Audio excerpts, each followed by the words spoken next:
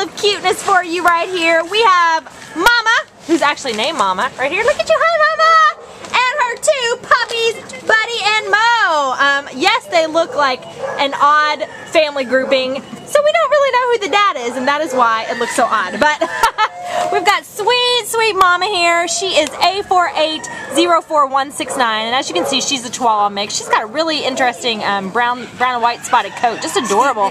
She's only about two years old herself, so she's still just a young gal. And um, she came in as a stray on February 27th from La Puente.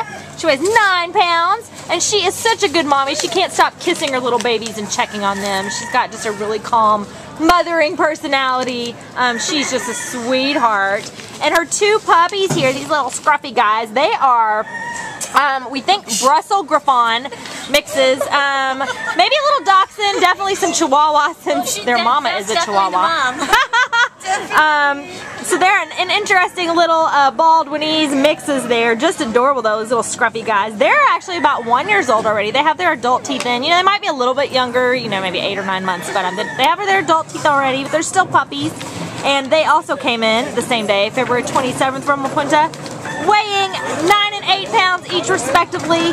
Um, Buddy's ID number is A4804171 and Moe's ID number is A4804170. Um, and you can see, I don't know if you can see, one of them has this cutest little mohawk. They're just all This over the is, place. oh, you know, let me get it Look at that mohawk. Here's yeah, there we go. Mohawk. Mohawk. Um, so our mohawk little guy here, he is.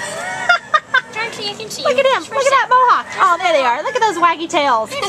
So, Buddy is the shyer of the two. One of one of our puppies, Moe, is more adventuresome one, a little bit more outgoing Mohawk and fun. more And our yeah, our Mohawk here is a little bit more of a, a calmer, quiet, just you know, reserved fellow. But they're they're both you know, sweet, sweet puppies, um, just adorable. They're very bonded. We'd love to see them go together. Of course, we'd love to see all three of them go together, but um, but you know, it's okay if mama goes separate and the puppies go separate. And of course, the main idea, as always, is just for them to leave the shelter and get good, happy homes. So that's like the main, main, main goal. So if you can only take one or two or three, we'd love for them to leave as soon as possible because they're adorable and they need to go home and be awesome, awesome little dogs in a loving family, right guys?